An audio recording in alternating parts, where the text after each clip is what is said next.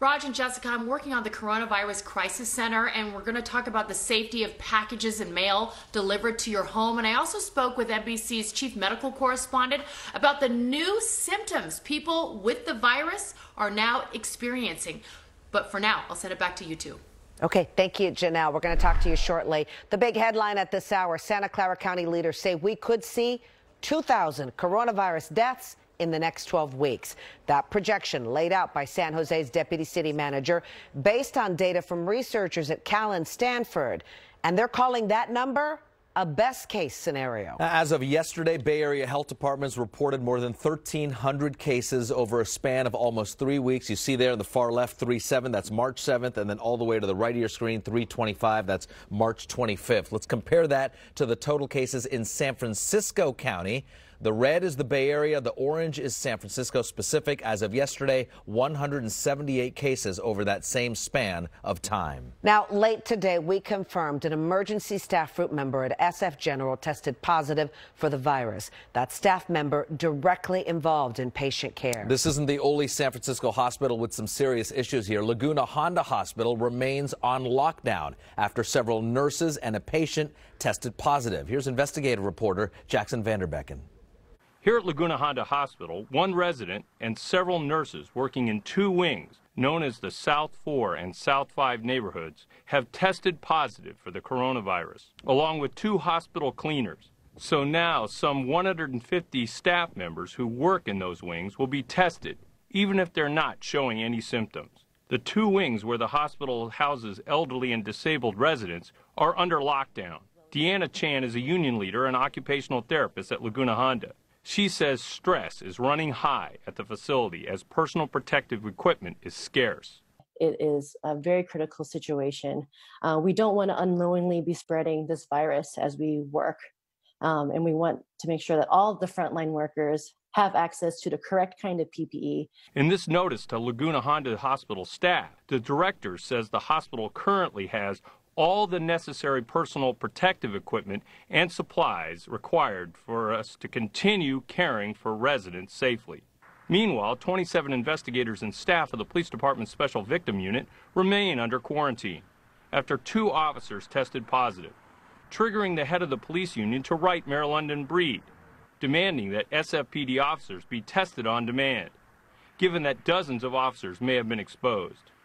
This is the tip of the iceberg said Union President Tony Montoya, warning the mayor that the force cannot sustain losing hundreds of officers like NYPD and still protect the safety of San Franciscans. So far, no response from the mayor. Jaxon Van Derbeken, NBC. Bay Area News. Now, hospitals across California are bracing for a crush of new COVID cases similar to what they are seeing in New York. Good Samaritan Hospital in San Jose says contingency plans are in place and they are stockpiling gear. Today, we got a rare behind the scenes look at the operations of Good Sam. Those brown tents that you're looking at is where patients with COVID 19 symptoms are brought in and assessed to see if they have the virus. The number of patients has been ranging from 5 to 35 people a day. The hospital's chief of nursing, a former military medic, calls the fight against COVID 19 a different kind of battle. It is a little different when, when you're not exactly sure where it's coming from. Um, it's a very different thing when you're um, in a wartime situation where you can see the enemy and something like this when it is a coronavirus. Mark Brown says the setup at Good Sam and other hospitals is now starting to look closer to an Army field hospital. And he says staffing and equipment at this juncture is still holding up. Yeah, the fight to beat this disease has many fronts, among them the battle to get that equipment, those life saving medical supplies. Some Bay Area hospitals are innovating to get the tools that they need. Let's bring in NBC Bay Area's Melissa Colorado, who joins us in Fremont with an inside look. Melissa. Well, Raj, you know this weddings, celebrations, parties, graduations, they're either getting postponed or canceled because of the coronavirus pandemic. Well, now a local company that rents out party equipment is helping out hospitals, supplying them with tents to help them expand the number of patients they can treat. You know, I originally got in this business to help people celebrate you know, their life events. For Michael Berman, this isn't a call for celebration, it's a call to action. The president of Stuart Event Rentals says his company is renting out tents to 11 hospitals in the Bay Area. Some tents will become coronavirus testing sites. Others will become extensions of the ER as doctors prepare for the possibility of running out of room. So we're working on creating some privacy screens uh, so they can the healthcare providers can move more rapidly with that with uh, within their you know to service their patients. Perhaps no race is as competitive as the race to find N95 masks to protect hospital workers. The SEIU United Healthcare Workers West scored a big find when a spokesperson says the union found a supplier in the East Coast who had a warehouse full of 39 million masks. That supplier sold each mask for $5. Uh, we have now secured literally 100 million new N95 masks. The race to meet the demand for medical supplies is setting off a competition no one wants to be in. States are outbidding one another no to get compass. medical supplies that their hospitals need. And there's calls for the federal government to step in. You're hearing it all across the country from states. They just can't deal with finding the medical supplies that they need.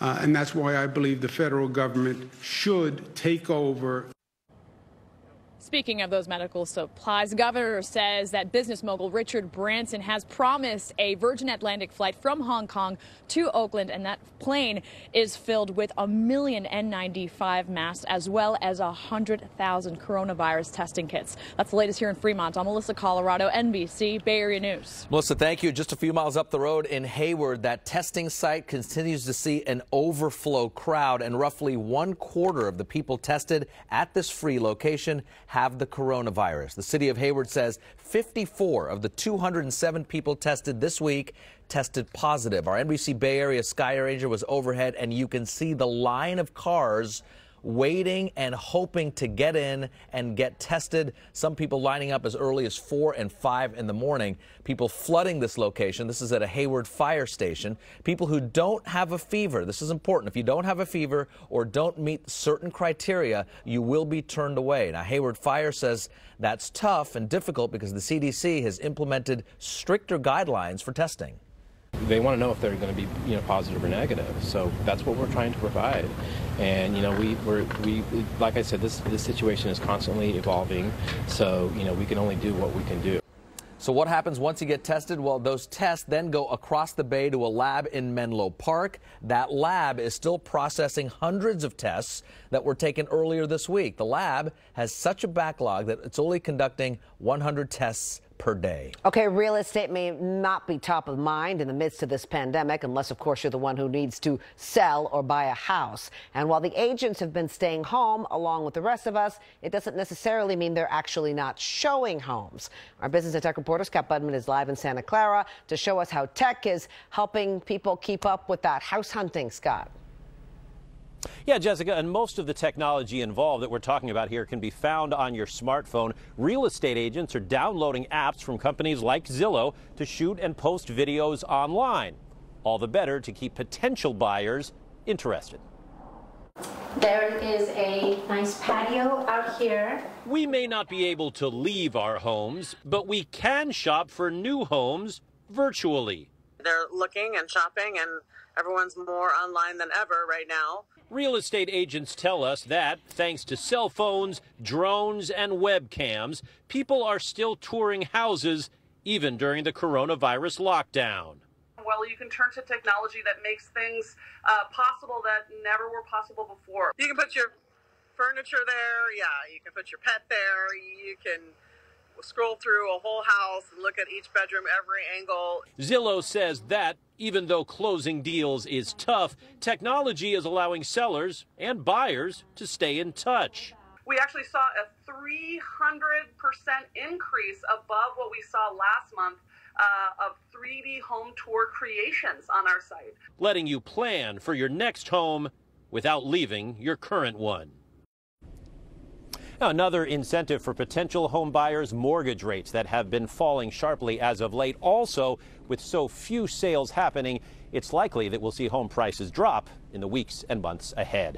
Live in Santa Clara, Scott Budman, NBC Bay Area News. Interesting story. Thank you, Scott. Well, several weeks ago, we started to get flooded with questions about this virus. At that time, we created the Coronavirus Crisis Center, really to try to help answer some of these questions. Now, among them, package delivery or even restaurant deliveries. What should you do when those things get delivered right to your front porch? Let's bring in NBC Bay Area's Janelle Wang, who is working from home. And Janelle, what's the guidance here when it comes to those packages?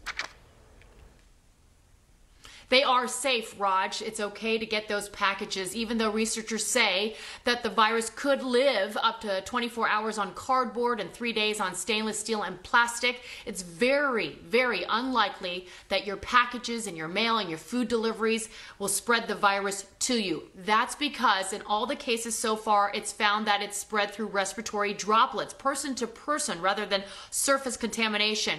A U.S. Postal Service spokesman says there's currently no evidence that COVID 19 19 is spread through the mail. The CDC also backs that up, saying the risk is very low and there are no cases linked to contact with packages. But to be safe, wash your hands with soap and water after getting a food delivery or opening a package. And a senior VP at Amazon says you can also leave your package outside or in your garage for a day before bringing it in if you want to be extra cautious. Other people are also wearing disposable gloves, then throwing them away or spraying their package with Lysol uh, or wiping it down with a disinfectant wipe, but those are just overly cautious um, um, tips.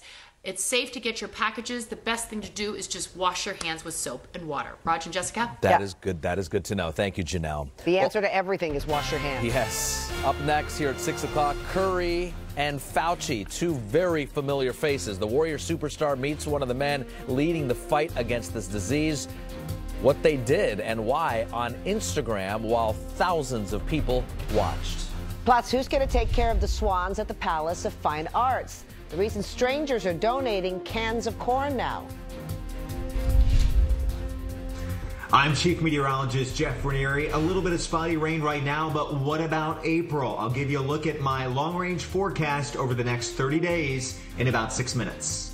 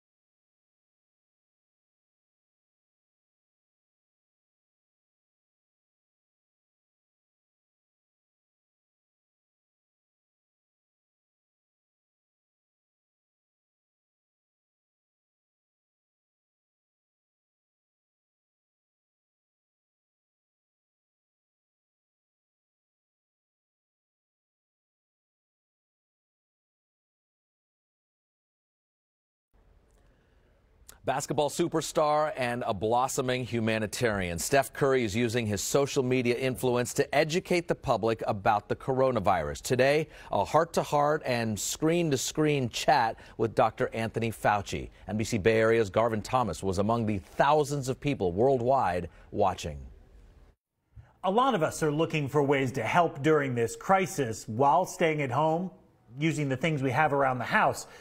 Well, you know what Steph Curry has? 30 million Instagram followers. So this morning, he decided to use them to help spread accurate information about the coronavirus. Can y'all hear me? Dr. Fauci. Curry did it with the help of Dr. Anthony Fauci, the director of the National Institute of Allergy and Infectious Diseases, and probably the most famous doctor on the planet right now. During their half hour chat on Instagram, a lot of numbers were thrown around, like how coronavirus is 10 times more serious than the flu or how we're 12 to 18 months away from a vaccine. But the most important number was this one. Nearly 50,000 people tuned into the chat. Curry understands his social media audience might not otherwise be getting the most accurate information. And that's really one of the reasons that I wanted to have this Q&A and hopefully reach um, you know, a different demographic or people that, you know, are, are interested in, in, in, the facts of, of what's going on. Curry admitted during today's interview that he tested negative for coronavirus a week and a half ago after feeling flu like symptoms. The system, the way it was set up, Steph. Fauci said he did the right thing, says testing is finally becoming more and more available. And that, Fauci said, will help us get a hold of this virus, but only if everyone's on board. We can start thinking about getting back to some degree of normality when the country as a whole is turned that corner and start coming down. Useful information delivered to people who need it by two of the very best in their very different fields. Garvin Thomas, NBC Bay Area News. Good job, Steph. Okay, no toilet paper, no antiseptic wipes, and Apparently, no canned corn. Food hoarding isn't just impacting people, animals too. And while the famed swans at San Francisco's iconic Palace of the Fine Arts aren't worried about the wipes or the TP, they are running low on a staple of their diet, corn. NBC Bay Area's Lili Tan is live in San Francisco. And Lili, the caregivers of the Swans say they need some distance appropriate help from the public now, though. Oh, absolutely. Caretakers say that corn is crucial for swans at this time of year. It's the way they fatten them up before nesting season. But when they went to the stores, local stores, and suddenly couldn't find any, they panicked. But take a look now, just a day after asking for donations, people have responded, rolling dozens of cans of corn under the fence.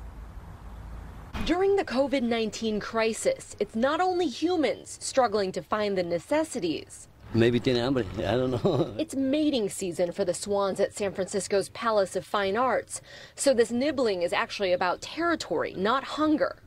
But 24 year old Blanche and 13 year old Blue Boy, aka Swanathan, are at risk of losing a crucial part of their diet corn, which helps their bodies prepare for nesting. Well, I felt a little panicked at first. Gail Haggerty, the palace's swan caretaker of 25 years, posted a message online noting that because of food hoarding, she couldn't buy necessary corn in bulk. Oh my gosh, we heard on Nextdoor that our swans were not able to get the food that they needed because of the shortage. And people responded right away lobbing or rolling cans of corn beyond the gardener's fence. Uh, the swans needed food uh, corn in particular, so we decided to bring our last two cans over. An emotional gesture to the Swans caretaker, who has been in quarantine for the past 10 days after being potentially exposed to COVID 19. I was so happy.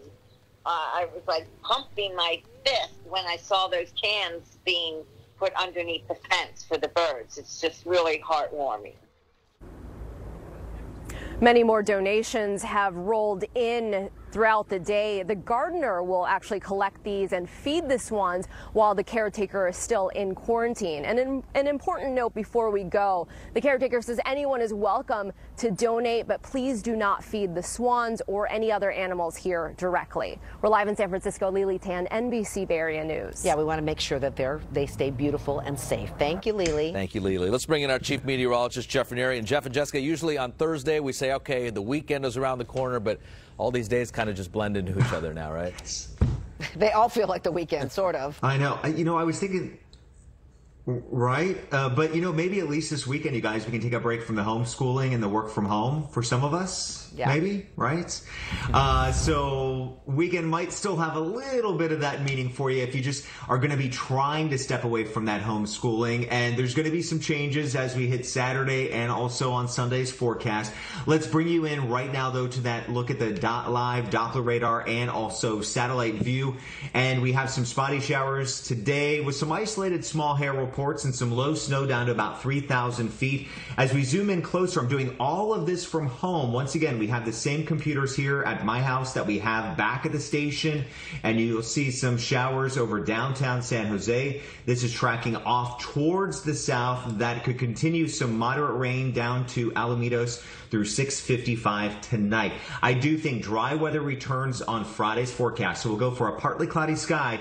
Notice our temperatures here for the morning 30s to 40s to start and partly cloudy through the afternoon. I've also warmed up those temps to the upper 50s and low 60s from the North Bay down to the South Bay. Now, I don't want to pile on. I know a lot of us are dealing with COVID 19, the shelter in place, but we did get our new drought monitor update today. We have moderate drought that's returned to parts of the Bay Area, so we're continuing to monitor that. But I did think that you guys would be interested in the long range outlook. So here's a preview of that. Right now, no El Nino or La Nina. We're considered uh, neutral at this point. Chance of weekend rain on the way, and right now I'm calling for a 70% chance of more rain in April with some on and off storm systems. I'll take a look at the weekend rain chances and what's coming our way. I'll have that in about 25 minutes. Uh, so, Raj, I, I think it's still okay. We can still be uh, pumped up about that weekend. You too, Jess. Right? Thank you for little bringing a smile to our face. Thank you, Jeff. Okay. Well, we all know a fever Okay. and dry cough are signs of the coronavirus, but what are some possible other symptoms? We're going to talk to NBC's chief medical correspondent next.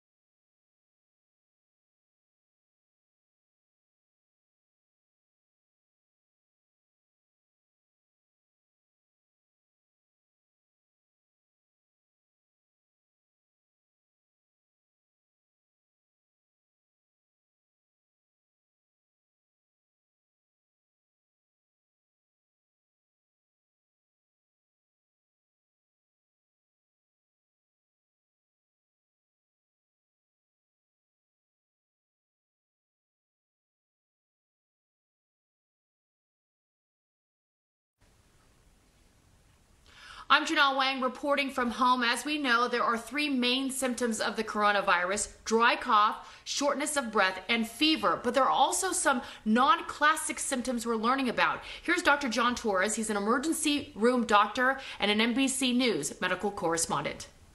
People start to lose their sense of smell and their sense of taste. We think the reason this is happening is because the virus gets up into their nose area where they have those smell nerve receptors. It occupies those nerve receptors and ends up deadening them for a while, so they lose that sense of smell and taste. Pink eye is another one. The, the uh, non-classic symptoms that you see are headache, gastrointestinal problems, this uh, smell issue, and then pink eye is another one. It doesn't happen in many cases, and in the studies they did, it was less than 1%, and it came with other symptoms. But we know it's a virus that can get into the eyes, and people start getting redness to the eyes, they start getting eye discharge. It's another reason we say you want to make sure you wash your hands before you touch your face, particularly your eyes, your nose, or your mouth.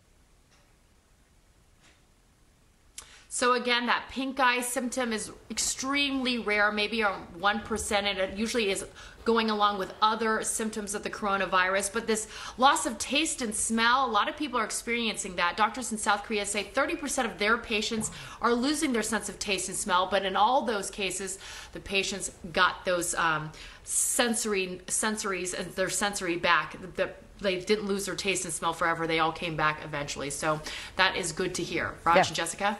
That is comforting. All right, thank you, Janelle. Well, up next at 6:30, establishing new guidelines for the coronavirus. President Trump's plan to get communities back up and running. Also, he's been an economic advisor for several U.S. presidents. So, what does Robert Reich think about this stimulus package? We'll tell you right now. He thinks the American public is getting robbed. He joins us next.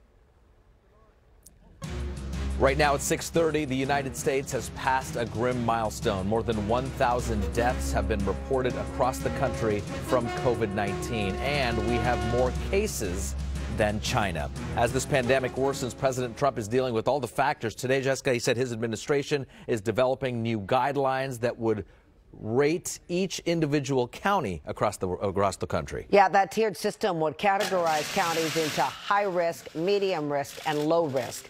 The expectation is the guidelines would help governors and mayors decide if they want to maintain, increase, or relax their social distancing rules. Sections of our country, we may take large sections of our country that aren't so seriously affected, and we may do it that way, but uh, we've got to start the process pretty soon. Public health experts have said that easing social distancing restrictions too soon could overburden hospitals and eventually lead to more deaths and more economic damage related to the virus. Now, record breaking, that's the way to describe the unemployment surge in the U.S. right now. Three million Americans filed for unemployment last week. And it comes as the Senate approves that $2 trillion emergency relief plan. The bill now heads to the House. Speaker of the House, Nancy Pelosi, says they will vote tomorrow. It will pass with a strong bipartisan support. Let's do it in a way that stays focused on the kitchen tables of America's families. The bill includes billions of dollars for hospitals and small businesses. It also funds $1,200 checks the president has been talking about. Those checks will be sent by mail or direct deposit to people making less than $75,000 a year. There's a formula for that for couples and for children. The Treasury Secretary says the checks will be sent out within three weeks and that you don't need to sign up for anything as long as you've been working and paying taxes since 2018. Those unemployment numbers didn't slow down Wall Street. The Dow soared for a third straight day, but the markets are still down overall nearly 20% over the past month. The optimism on Wall Street is because of the bailout. The Dow, S&P, and Nasdaq, you can see all in green uh, with positive numbers. Well, all this money about to be spent and all those people losing their jobs, are we doing the right thing with that $2 trillion? The short answer, no. That's according to Robert Reich. He's a familiar face in the Bay Area and in Washington, D.C. Reich is the former labor secretary for President Clinton and a public policy professor at UC Berkeley. He tweeted, quote, no industry, not airlines, not hotels, not cruise ships, should be bailed out. They can stay in business by borrowing at rock bottom rates using their assets as collateral. Uh, joining us now from Berkeley is Professor Reich. Robert, nice to have you back on the program. Let's not waste any time. Let's get right to it. You are not happy with the way we're going to spend this $2 trillion. How come? Well, there's, there's some good things in the bill, but the, the biggest expenditure is for corporations, bailing out uh, big airlines and cruise ship operators and hotels and the like. They don't need to be bailed out. Uh, that's wasted money. We need to spend every dollar we have on people, on people who need it, on uh, individuals who are home. and they should be home, they should be safe, uh, but they need income in order to get through this. And that's where the federal taxpayer dollars ought to be going. Just from a layman's term, if the corporations get help, therefore they can keep hiring and keep their employees. Is that correct? Uh, well, there's nothing in the bill that requires most corporations to keep hiring. In fact, there's nothing in the bill that requires most corporations to maintain existing employment.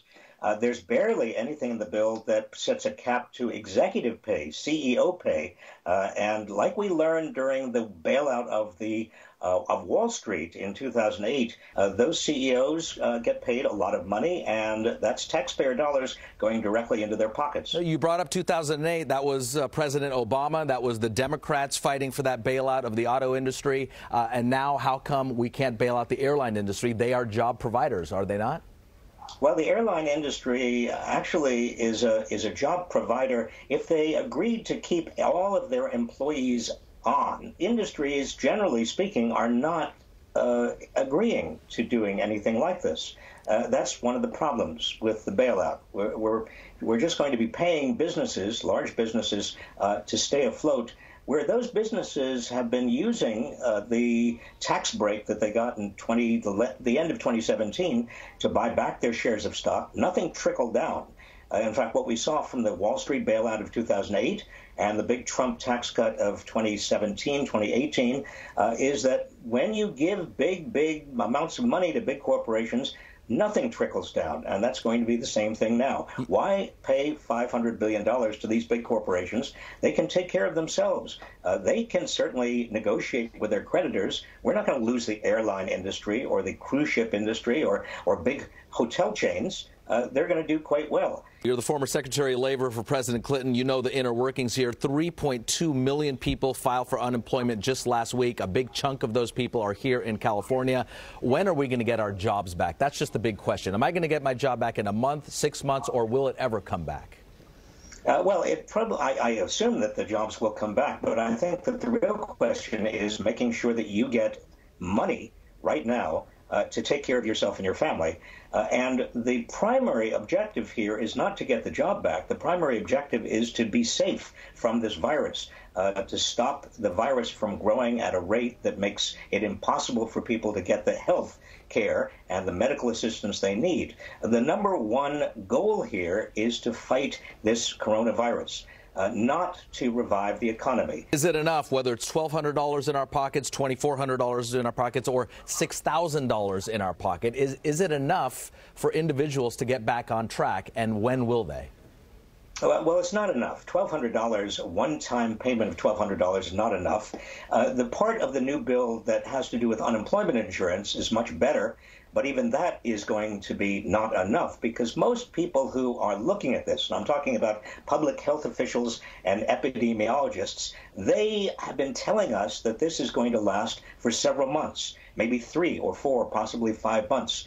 And the most important thing is to, as I said, get people the kind of income support they need, as well as the medical help, if they do need medical help, the medical help they need, uh, not to worry about companies right now. Uh, so I, I, expect that $2 trillion, it sounds like a lot, but it probably is going to be the, just the first tranche if we take this seriously and understand what we have to do. Remember, this is a $21 trillion economy per year. Normally, we can afford to make sure that all of our citizens are safe during this economic and public health emergency. Robert, thank you for your time. Thank you for your insight. We look forward to our next conversation. Thanks very much. Bye bye. Up next, the VTA training trainee tests positive for the coronavirus, what it means for light rail trains in the South Bay.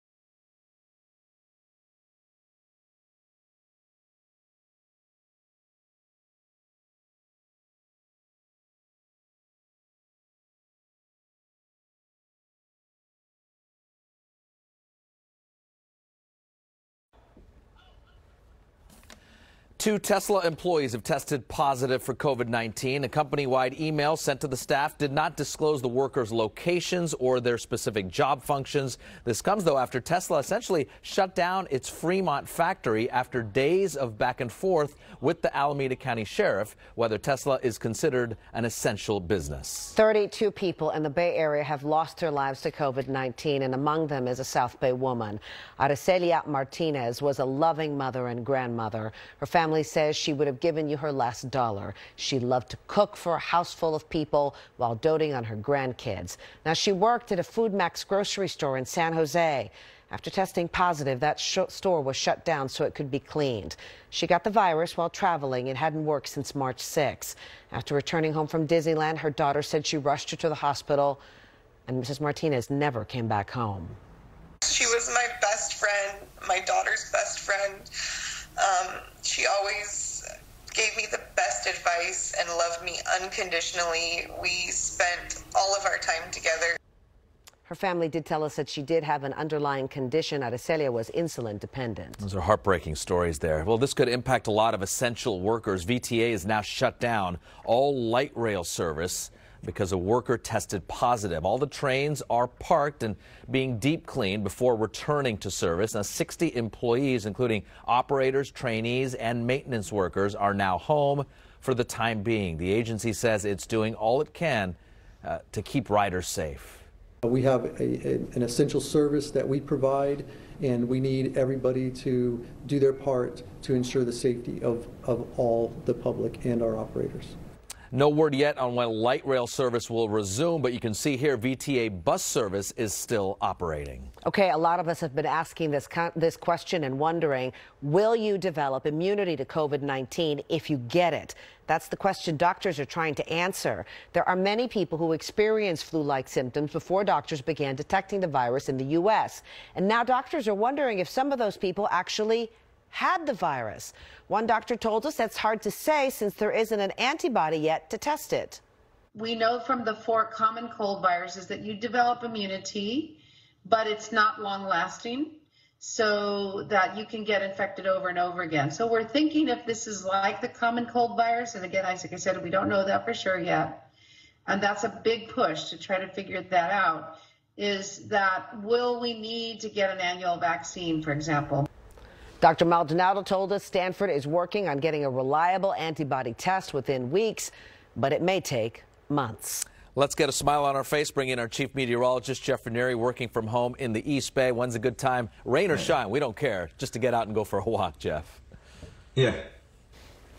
Uh, tomorrow, I think it's going to be good for the kids for recess, the parents for maybe some uh, early exercising in the morning, and uh, we'll show you when some weekend rain moves in and out. I'll get you all ready to go here in about six minutes. The public health folks say it's a good idea to have some extra medicine on hand, but getting that accomplished, well, you might run into a hurdle. I'm consumer investigator Chris Kimura. We'll help you get over it after this break.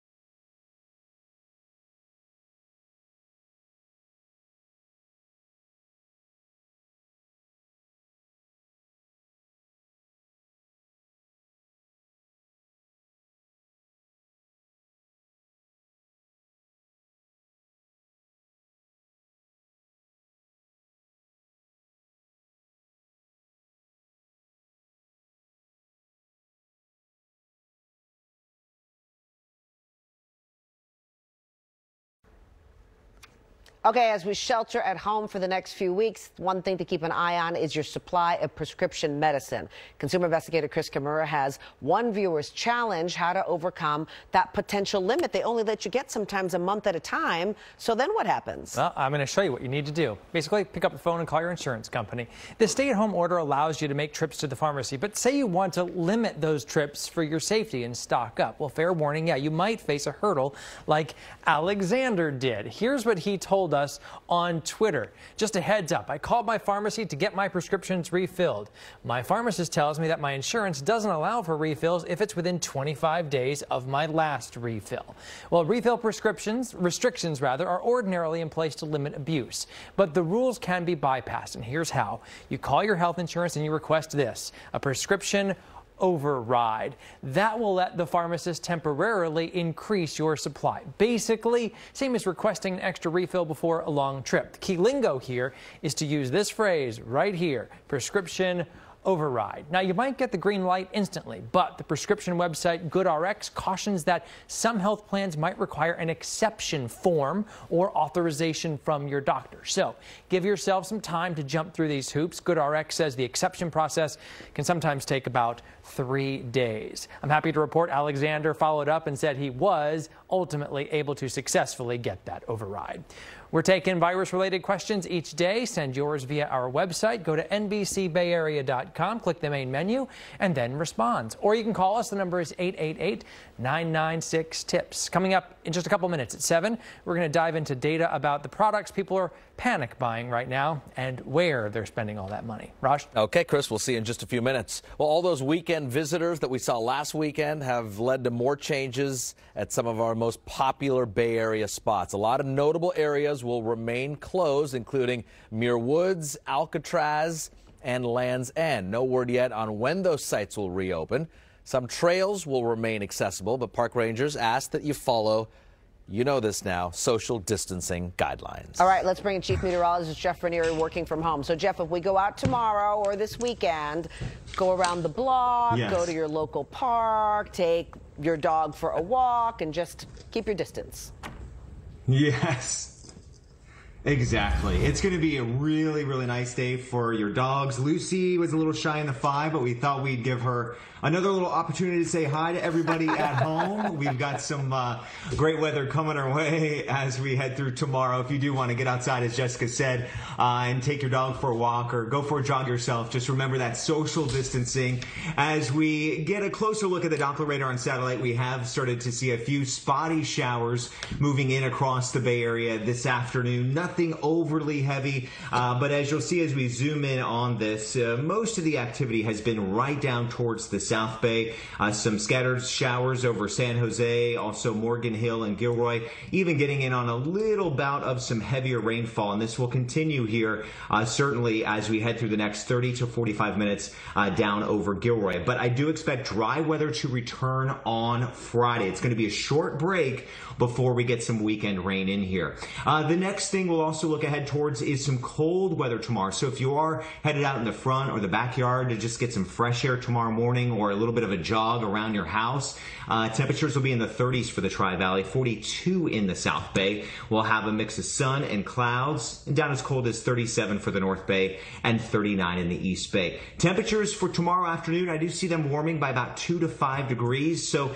uh, it'll be slightly warmer. I think it'll be noticeable down here uh, through the South Bay with 60 in San Jose, also 59 in Cupertino, and a little bit breezy. Winds out of the northwest at 14, and that really could be the only problem in the forecast tomorrow. If you have allergies, this wind we're seeing through our microclimates definitely could aggravate them. For the East Bay, it's going to be up to 17 miles per hour. The peninsula, 59 in Palo Alto, then right up to Daly City, 54 degrees and partly cloudy. San Francisco, I have 58 in the Mission and 55 for the Marina. And as we move up to the North Bay, 62 in Napa, then down to Mill Valley, 57. So tomorrow's a quick break in the weather with that dry weather. But then by this weekend, I wanted to show you when we'll see some rain starting to move in. And you'll see at 7 o'clock in the morning on Saturday, we have showers moving right up against the coastline. Then as we move through the day on Saturday, we'll continue with this chance of rain back in the mix. Let's spend some time on that extended forecast because really with COVID-19, everybody's sheltering in place. Anytime we can get some sunshine, it is going to be good. So we already talked about that chance of rain on Saturday and Sunday. We're looking at about a quarter inch on average uh, for Saturday and Sunday. But then once we hit next Monday, Tuesday, Wednesday, and Thursday, it appears that we will have some sunshine coming back in the way the forecast is moving right now. I really think next Monday and Tuesday and Wednesday are going to be the best days out of the next seven with temperatures in the low to mid 70s. Now, notice by next Thursday, I do drop it down to 69. We might see a storm system approach from the north by next Thursday. It's too early to tell if we'd get rainfall right now. So I'd say the best thing to uh, enjoy here is next Monday, Tuesday, and Wednesday. You got those low to mid 70s, as I said yesterday. Uh, being cooped in so much inside, I'm, I'm, ready to get the chair out and some SPF 30, go sit in it with some sunglasses and a magazine. Of course, on my NBC work approved break only, and uh, get some uh, vitamin D from Mother Nature. Uh, I did see Jeff on his Facebook you know? Live today. He looked great outside in the backyard, talking about the weather, but but but love it, but loving it. Good to see you, Jeff. During work hours. yeah, I did a workout at home. I have some advice for people at home, you guys. I wore the wrong shoes during the workout because I'm not at the gym. I didn't put the tennis shoes on. Not a good idea. Oh. Not a good idea. see you later, Jeff. well, the sound of silence at our Bay Area ballparks and across the country. What was supposed to be baseball's opening day, there's still a way, though, you can enjoy the game. Anthony Flores joins us next.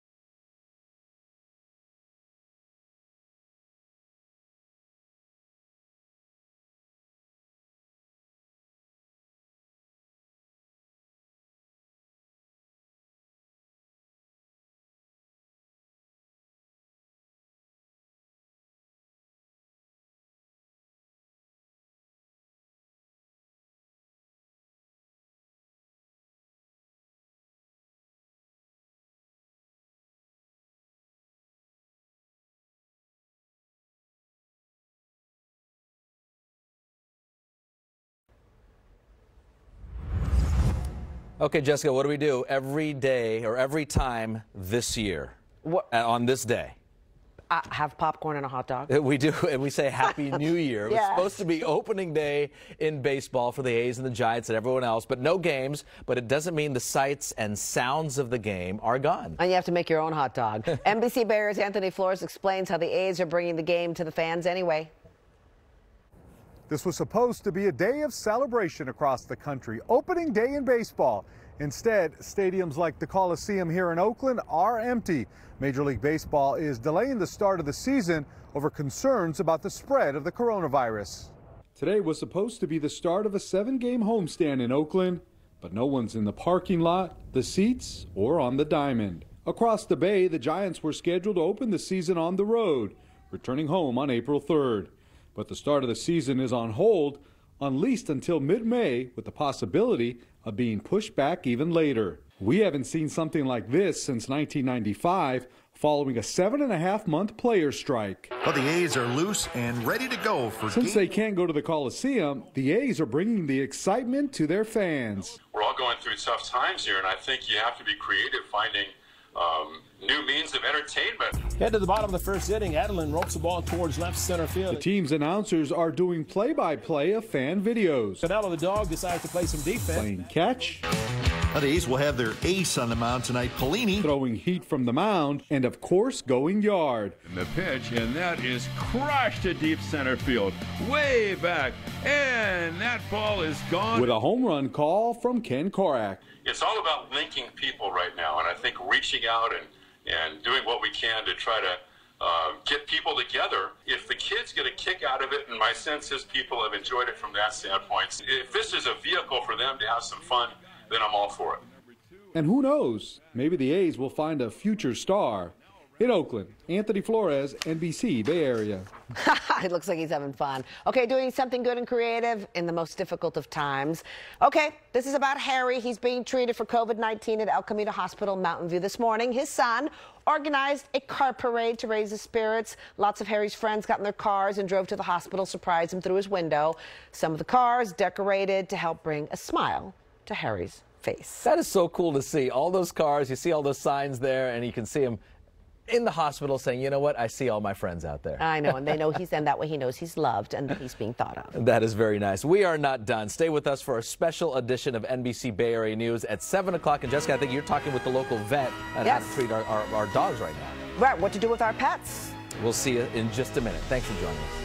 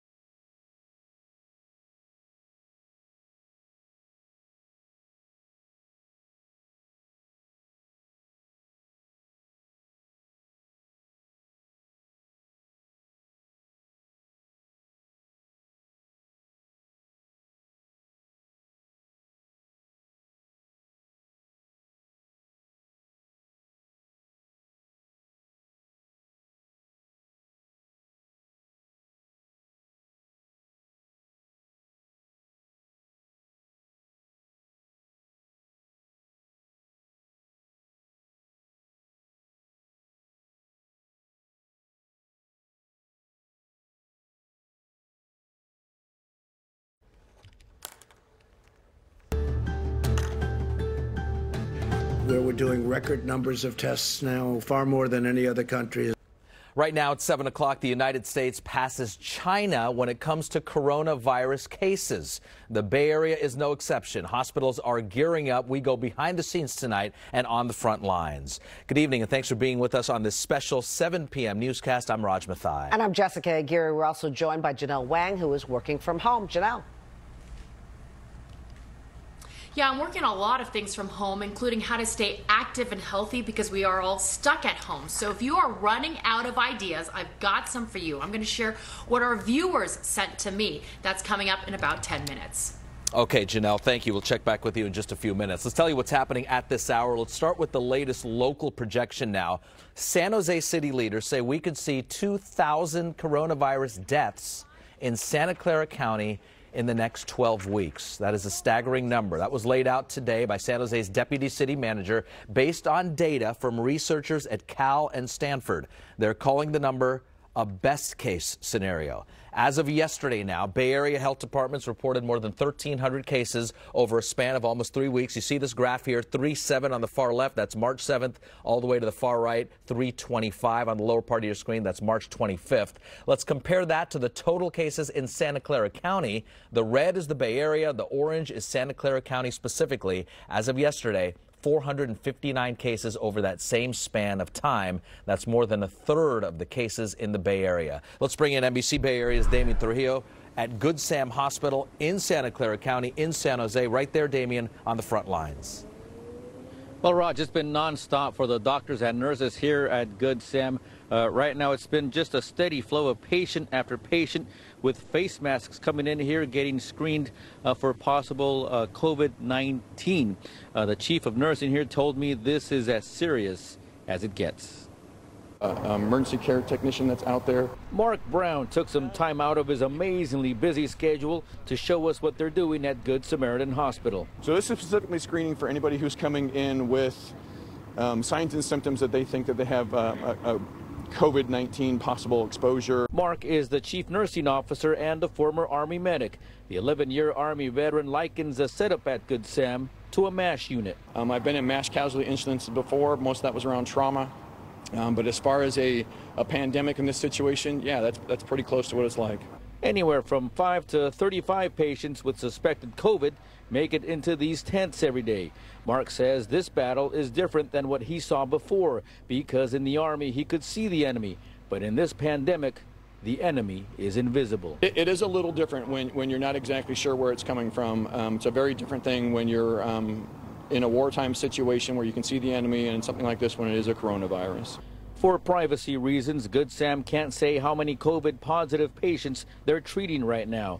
But there's no hiding the stress level here. Technicians check the temperatures of everyone coming in. Only one family member is allowed in the ER with the patient. Then there's this strangers dropping off food and snacks for the staff. A small thank you for their tireless work on this battlefield that's now stretching from sea to sea. And Good Sam is preparing for a possible surge in COVID-19 cases, but they say that surge can be avoidable if people stay home and they self-isolate and give these folks a hand. We're live in San Jose. I'm Damian Trujillo, NBC Bay Area. It is a difficult situation. Thank you, Damian. Not one, but Nurses at two Bay Area hospitals rallied today at Oakland Highland Hospital, San Francisco St. Mary's Medical Center, sending a message that they need more personal protective equipment. The nurses say they need the essentials like the N95 masks, the face shields, and gloves before they get a surge of patients. If nurses can't be protected, we can't protect you. If nurses get sick, there will be nobody to take care of you. And we believe that we need the highest protection. So this is what they're asking. If you have gloves, masks, hand sanitizer, that you can donate them to your local hospital. Now, states across the country are scrambling to get their hands on medical supplies, sometimes outbidding one another for the equipment. In some cases, hospitals in the Bay Area are turning to some unusual places to get the stuff they need. Stuart Event Rentals is using is used to pitching tents for galas and weddings, but because of the coronavirus pandemic, the company is now setting up tents for 11 hospitals in the Bay Area. And those tents are becoming coronavirus testing sites. Others will help treat an overflow of patients coming into the ER. What we want to do is get back to celebrations as quickly as we can. And, you know, as soon as we can flatten that curve, that's going to get us, uh, you know, back to business as usual. And in that race to find that N95 mask to protect the nurses, a union that represents healthcare workers on the West Coast scored a big win. The union found a supplier in the East Coast who had a warehouse full of 39 million N95 masks. It's worth noting the supplier sold each mask for $5. The same mask were 1 to $2 eight months ago. Well, we've been talking a lot about that test site in Hayward. It continues to see an overflow crowd, and roughly one quarter of the people tested, and it's that free site there, have COVID 19. The city of Hayward says 54 of the 207 people tested this week tested positive. Now, since it opened on Monday, this is what we've seen. Just a lot of cars and a lot of people flooding this testing location, which is at a Hayward fire station. You can see the backup of cars. In fact, some people this morning started lining up at 4 a.m. Uh, people who don't have a fever or meet certain criteria, you'll be turned away. Hayward Fire says that's difficult because the CDC has implemented even stricter guidelines now for testing they want to know if they're going to be you know positive or negative. So that's what we're trying to provide. And you know we we're, we like I said this this situation is constantly evolving. So you know we can only do what we can do. So here's what's happening. They're taking, they're taking all those tests and sending it to a lab across the bay in Menlo Park. That lab is still processing hundreds of tests that were taken earlier this week. The lab has such a backlog that it's only conducting 100 tests each day. It is not what we wanted, but the U.S. has surpassed a grim milestone. The country now has more cases than any other country in the world. That includes China and Italy two of the hardest hit countries. More than a thousand deaths have been reported across the U.S.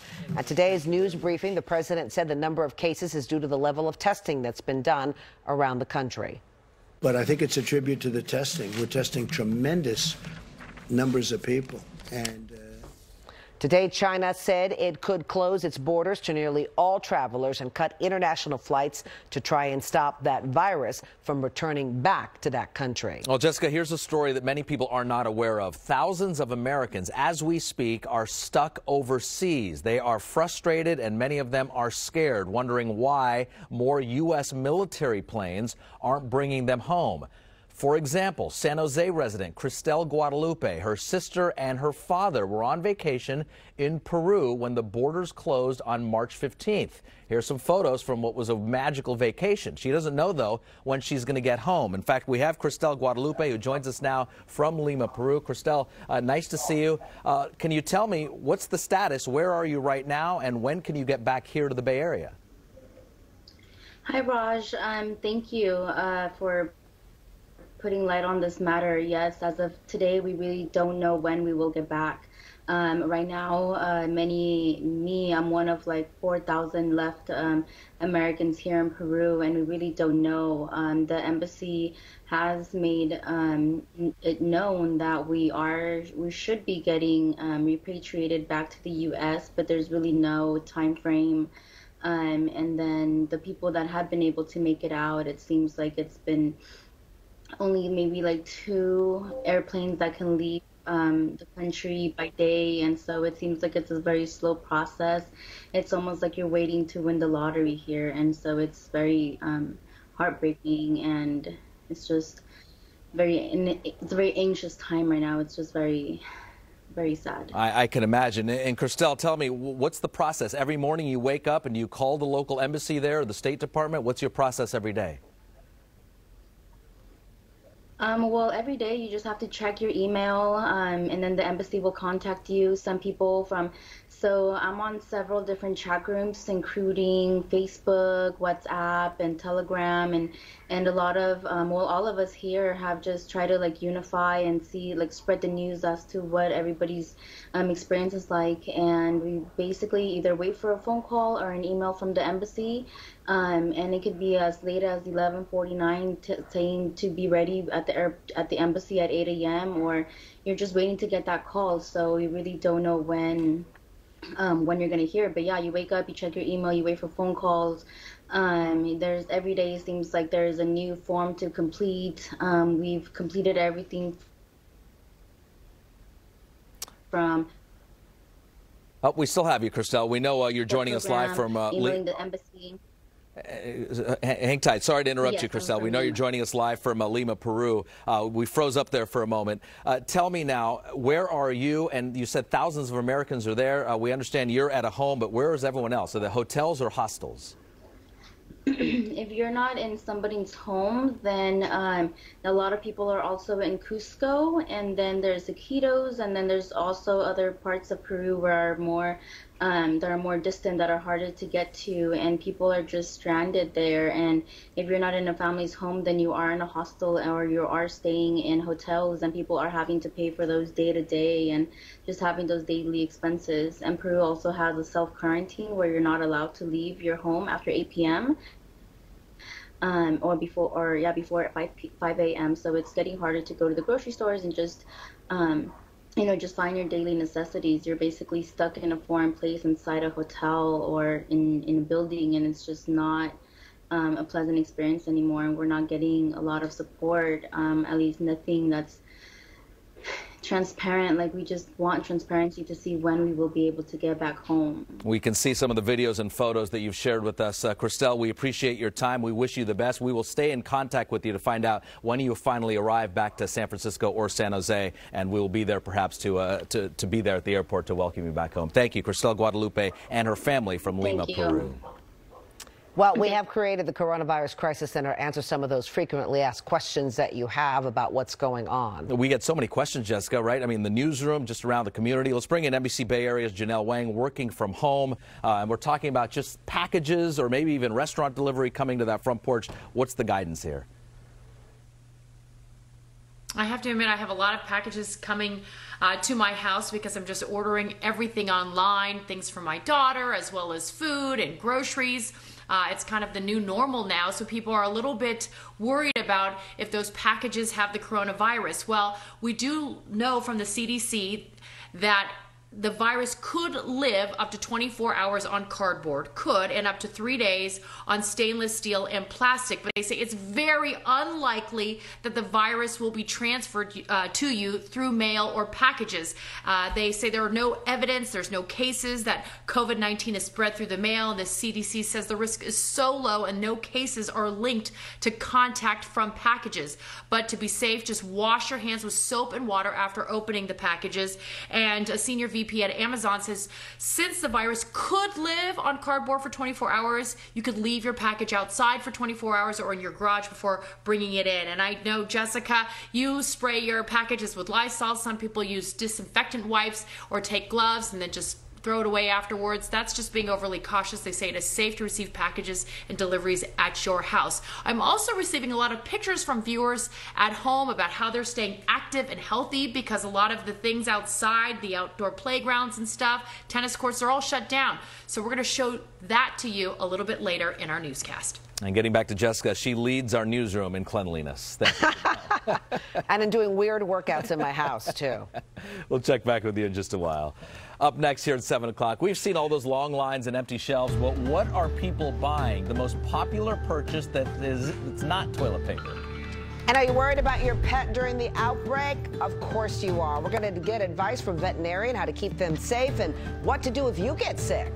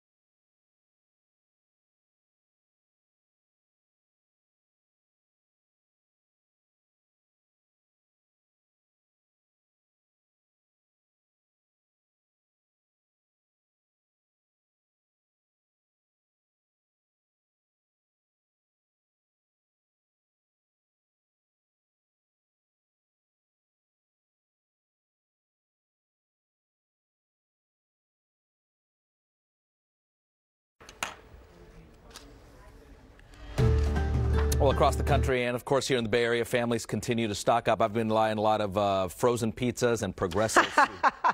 yeah, exactly. Well, a fresh batch of data shows how much sales have really skyrocketed. Consumer investigator Chris Chmura has the new numbers plus a look at what people are buying. I have to say, my teenagers are buying a lot of ice cream. I don't know how essential that is, but we have a lot of that at my house. I'm going to put that low on the priority okay, list. thanks. But it does taste good. All right, so this glimpse into people's grocery baskets or buggies or carts or whatever you call them, it is courtesy of a company called Ibotta. It's an app that offers shoppers cash back rebates. Lots of people use it. Ibotta says it looked at 33.5 million of its users' receipts for trips to the supermarket between mid-January and mid-March. And here's what the numbers show. We're going to the grocery store less often.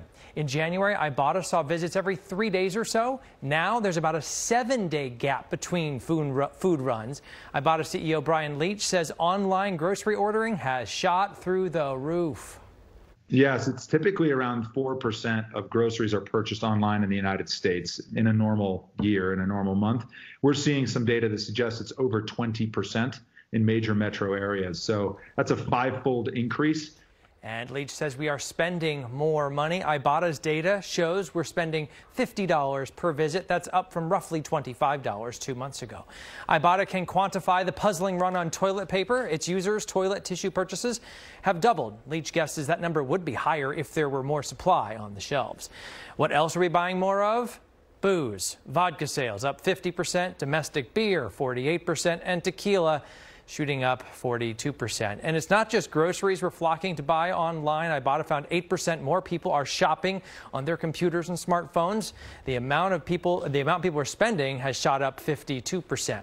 Now, the federal government has backed off its recommendation to store a two-week supply of food and medicine. Right here, you can see it on our screen. Ready.gov used to say two-week supply. Now it says store additional supplies of food and water. So that has been walked back a little bit. That hopefully is reassuring. We also have gotten assurances from growers and food suppliers that the food supply and those essential supply chains, they are up and they are running. We are taking your virus questions. Send yours on NBCBayArea.com. Click the main menu, then responds or give us a call. The number is 888 996 TIPS. Jess, back to you. Good luck with the ice cream. Okay, thank you. And make sure you have dog food and cat food too. Okay, they are part of our family and they are isolating right alongside with us. But what happens to you?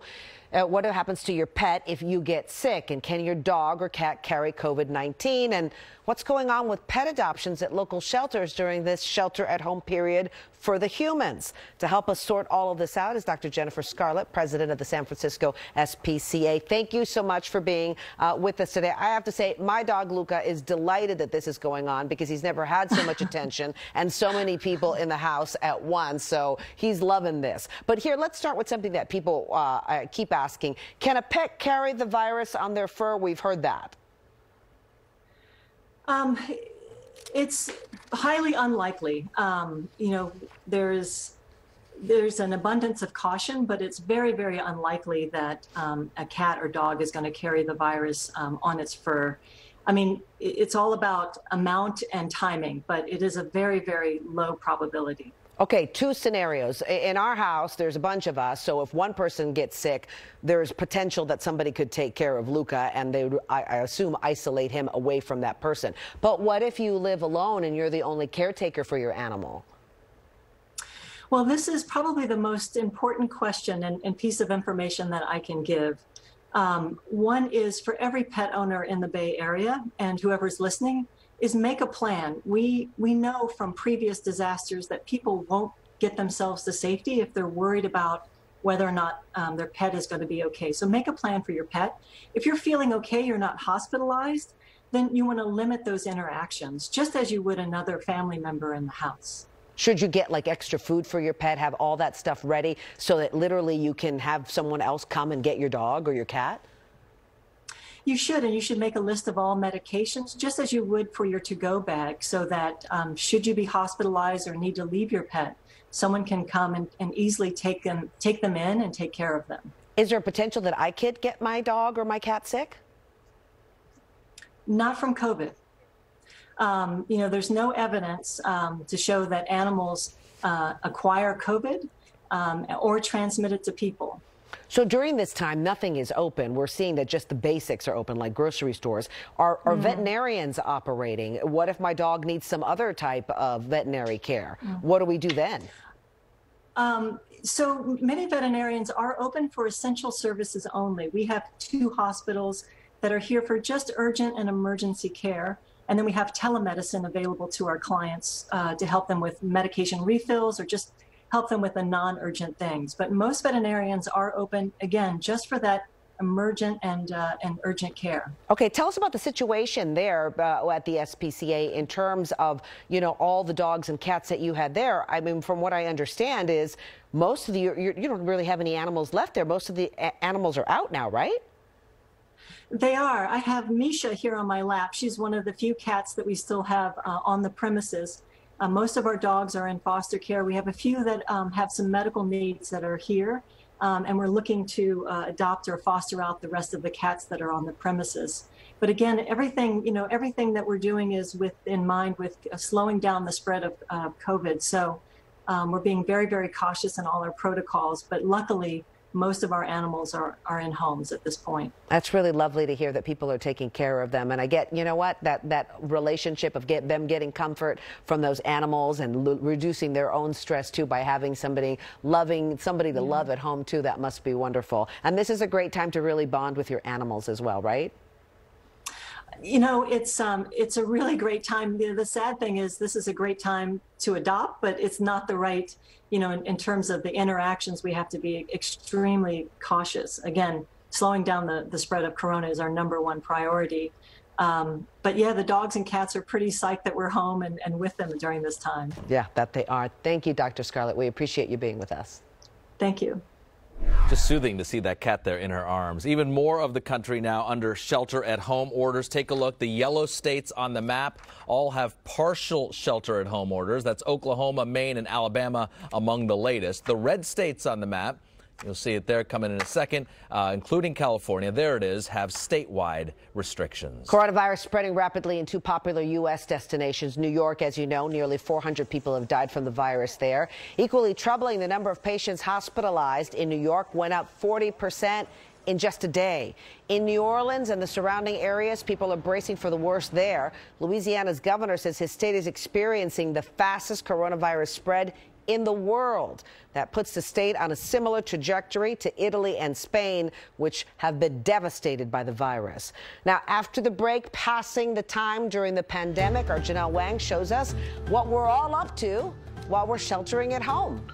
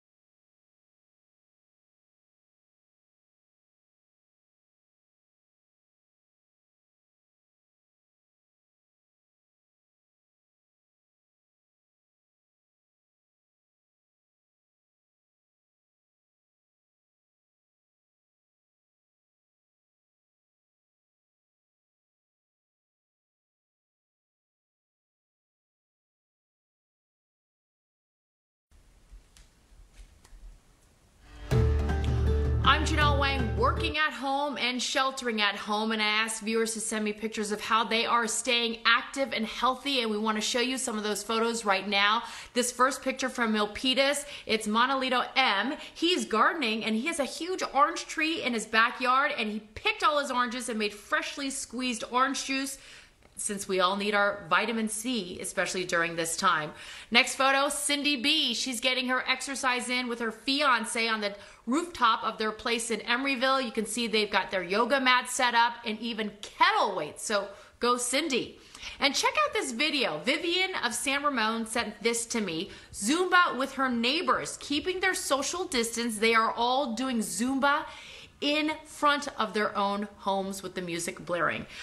As for my workout today, I tried jump roping for the first time in years, and I have to admit that didn't last very long. Jump roping is hard. Yeah. I can't do it for very long. Did you so, do double dutch? I'm trying to stay active and do something different every day. no way, that's impossible. we were talking about that. I actually need more grown-ups here to do that. But Yeah. I want to see what you guys are doing to stay active and healthy. Send me your photos on Facebook, Twitter, and Instagram, and we will show them on TV. We'll try to get as much on as possible. Back and, to you guys. and tomorrow we'll see the video of Janelle trying to jump rope. That's the deal, right? Working out at home is hard because you get distracted. Like I'll do a little Oh, workout right, and then I load the no, there's no video um, of that. Yeah. Thank you, Janelle. We'll see you tomorrow. Well, all schools in Sonoma County, this is no surprise, will now be closed through April. Sonoma County is now joining Alameda, Contra Costa, Marin, San Mateo, San Francisco, and Santa Clara counties. All of them announced that online learning, though, will continue. While the lack of travelers has SFO streamlining operations during this crisis, this is a live look at the airport. Starting April 1st, the international terminal will be consolidated into a single concourse. The boarding area will be closed and all travelers will begin using Area G. Airport leaders say for now, this is the way it's going to be until the end of May. We're back with more in a moment.